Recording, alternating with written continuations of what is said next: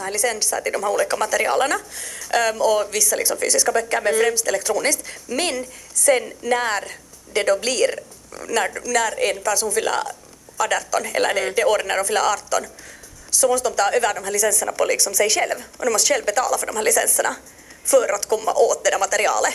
Mm, ja. Så det, det räcker, liksom, skolan har en gång betalat för det men det, det liksom hjälper inte utan Nej. du måste betala sen själv.